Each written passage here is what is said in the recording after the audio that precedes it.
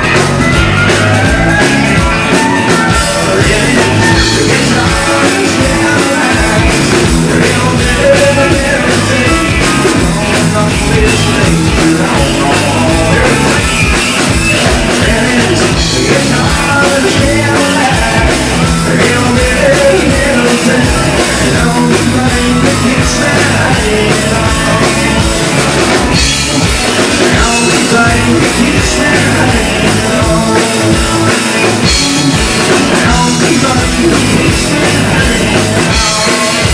back.